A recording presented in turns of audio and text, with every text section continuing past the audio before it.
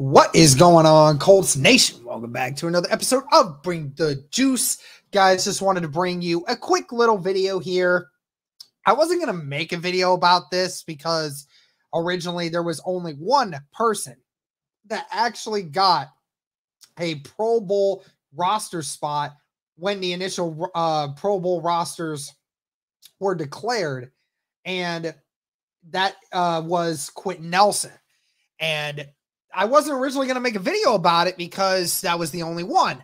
But we might as well go ahead and talk about it because now a few guys are replacing the uh some of the players that are still going into the Super Bowl right now and some Colts players are going to be actually making their way to the Pro Bowl. So let's go ahead and do this. Um first of all, I just want to say, how in the world this last guy on this list made the Pro Bowl, but yet somehow, some way, Zaire Franklin did not, is an absolute travesty. It is an absolute travesty, and it is without question the dumbest thing ever. Pro Bowl voting is broken.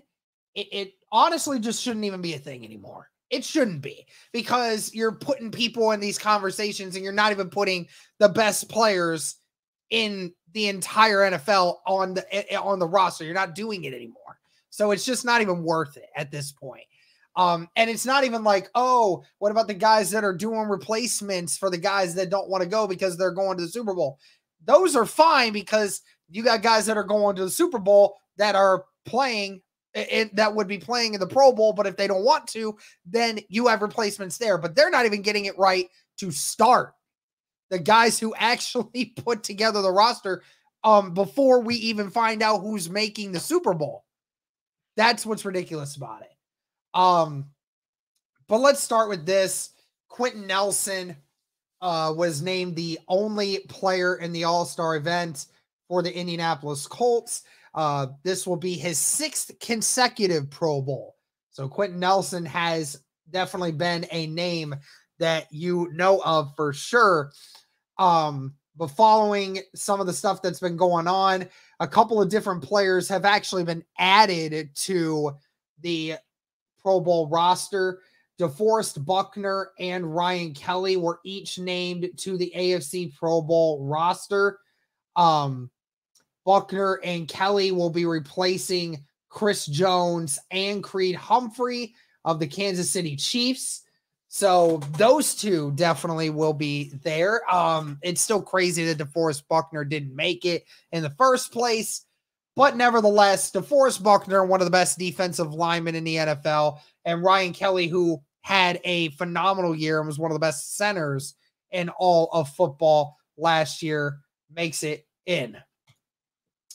And then we have the final one, which is saying that Gardner Minshew is actually getting a replacement vote and will be replacing Patrick Mahomes in the Pro Bowl. So he is now being named a Pro Bowl uh, roster spot for that as well. And that that's that's hilarious. That is just straight up hilarious. I don't know how in the world Gardner Minshew got put in there. Um, I, I don't even want to have I don't even want to fathom how he made it, but I mean, in in any way, shape, or form, how Gardner Minshew could have possibly made it a Pro Bowl roster spot, unless just every other quarterback in the NFL this year just decided that they don't want to uh, play in the Pro Bowl this year, and that Gardner Minshew was just left there by default. Uh, that's one thing. I, I find that extremely hilarious.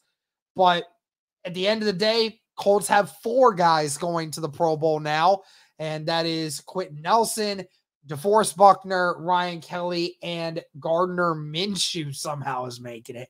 But that's going to do it for this one, guys. Like I said, it's a quick recap of this. Not much more to really get into with it. But let me know your guys' reactions to this. Uh, really would love to hear your guys' thoughts. But that's going to do for this one, guys. Thank you so much for tuning in. And as always, go Colts.